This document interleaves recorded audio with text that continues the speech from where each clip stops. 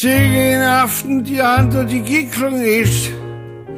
Mødet det sluttede med dyrlægens natmad med fedt. Jørgensen tog hjem med en sporvogn og Nielsen med bussen.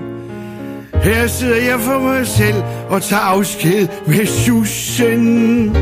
Jeg har det, åh, oh, så dejligt, åh. Oh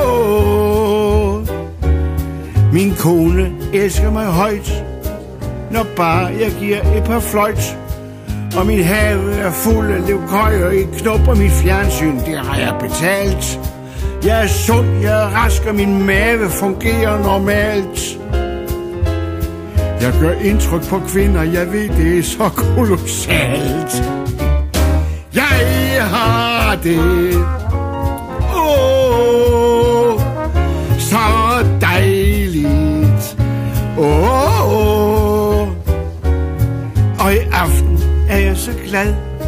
For i morgen så skal jeg i bad. Nej, sagde Jørgensen, da jeg sagde, bliv her lidt mere. Vi har det så rart, og i morgen, hvem ved så, hvad der sker? For som jeg sagde, når man hygger sig med sine venner, hvorfor så tage hul på en ny dag, man slet ikke kender? Jeg har det, dejligt, åh. Jeg hjælper der, hvor jeg kan, og også fru Jørgensens mand. For jeg ejer de evner, fru Jørgensen savner hos Jørgensen, for han er en klud. Der er en forklaring på alt, og så bor hun kalder mig Knud. Det er min skyld, fru Jørgensen stadig ser strålende ud. Jeg har det, åh, oh, så dejligt, åh. oh, Og det er da et meget pænt motiv at forskønne fru Jørgensens liv. Så diskuterede vi lidt på om stort og om småt. Ved I, hvad vi har, sagde jeg. Vi har det sgu godt. Fred og fordragelighed, det er jo noget, der fødes. Bare man taler om sagerne, hver gang man mødes.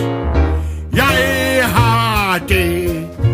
Åh, så dejligt.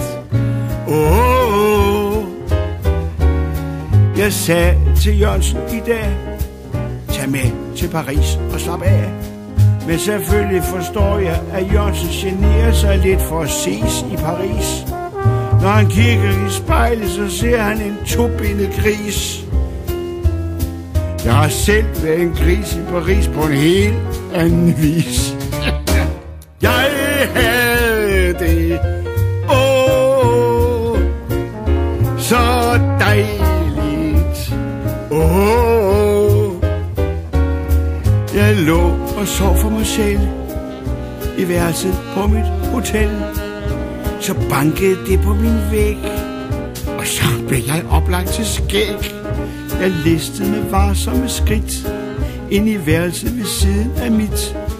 Og der så jeg en dejlig kontur af en pige i luftig figur.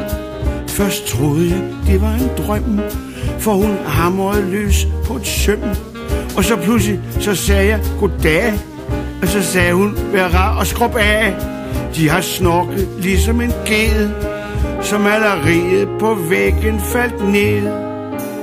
Men trods alt, dengang klokkerne slog, havde vi glemt maleriet, vi to.